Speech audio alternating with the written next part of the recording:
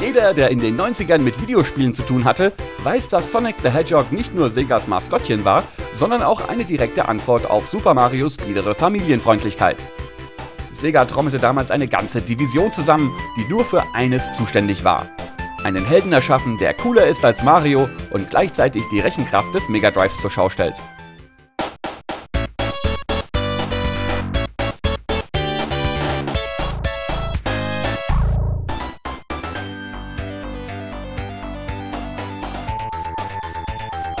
Natürlich wissen wir heute alle, dass das Unternehmen glückte.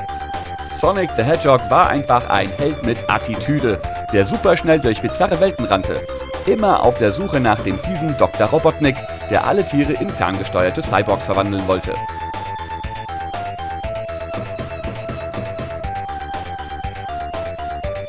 Die Spielregeln blieben über die Jahre beinahe unangetastet. Damals wie heute blieb der Flitzeigel sogar bei Feindkontakt am Leben, solange er mindestens einen der überall verteilten goldenen Ringe bei sich trug. Fand er hingegen ein paar Sprennschuhe, so war er kaum noch aufzuhalten.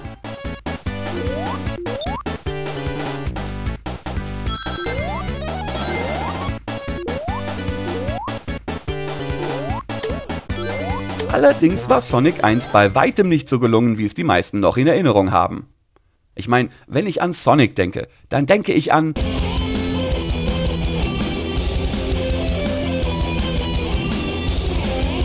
Und was ich in Teil 1 bekomme, ist hauptsächlich.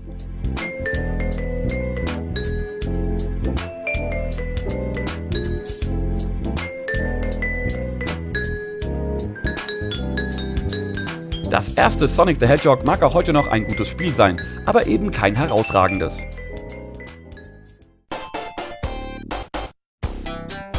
Irgendwie hatten die Jungs vom Sonic-Team noch nicht die richtige Formel herausgefunden, denn selbst die besten Sprintgelegenheiten endeten in bremsenden Sackgassen.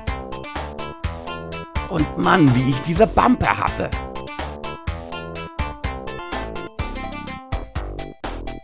Sieben Meilenstiefel waren hier unheimlich selten verteilt und noch seltener zu gebrauchen.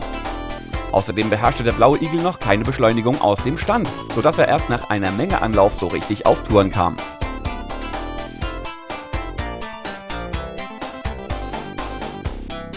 Immerhin, technisch hatte Sega nicht zu viel versprochen. Transparenzen beherrschte das Mega Drive zwar nicht, aber mit ein paar Zeilensprungspielereien und der fließenden Einbindung eines zweiten Playfields konnte Sega zumindest so tun als ob. Reiche Animationen, eine kunterbunte Farbpalette und riesige Spielfiguren degradierten die komplette NES-Bibliothek mit einem Schlag zu Asbach Software. Nun, schon vor Sonic gab es ja einige ziemlich gute Spiele für das Mega Drive. Doch dieser Titel verdeutlichte den technischen Vorsprung wie kein anderer. Wenn ihr es nicht selbst miterlebt habt, werdet ihr es kaum nachvollziehen können. Aber Sonic schmeckte in der damaligen Nintendo-dominierten Konsolenwelt nach einer glänzenden neuen Zukunft. Nicht, dass ich das damals freudig aufgenommen hätte. Ich war ja damals schließlich ein gestandener Nintendo-Fanboy und spielte Sonic nur bei Freunden. Trotzdem werde ich meine allererste Begegnung mit dem Igel nie vergessen.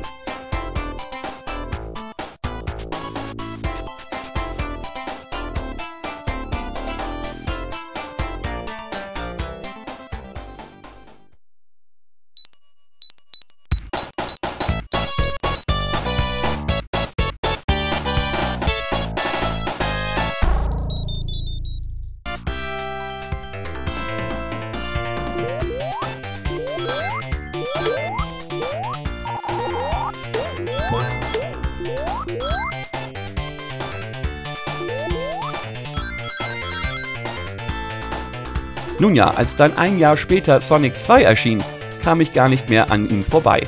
Zum Glück schaffte sich mein Bruder ein Mega Drive an, sonst hätte ich dafür auch noch Geld aufbringen müssen. Sonic 2 war das, was Sonic 1 schon hätte sein sollen. Schneller, schöner und cleverer designt. Allein schon wegen des nützlichen Spin Dashs.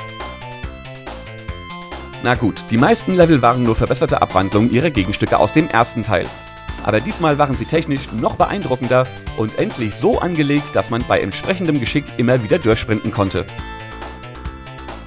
Nicht umsonst läuft der Timer bei Sonic vorwärts und nicht rückwärts wie bei Mario. Das spornte schon damals zu Speedruns an.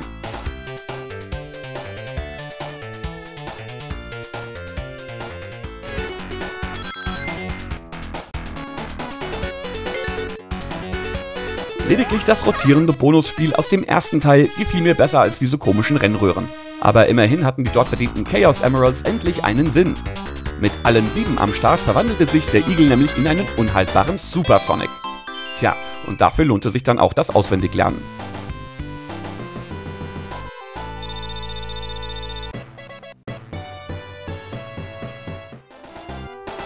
Wenn es nach mir geht, ist Sonic 2 trotz des arg gestauchten Zweispieler-Modus und des ziemlich doofen Sidekicks Tails der Sega-Klassiker schlechthin. Auch Teil 3 stinkt dagegen richtig ab. Der einzige Nachfolger, der jemals an diese Qualität herankam, war Sonic CD. Und auch nur dank des Zeitreise-Features.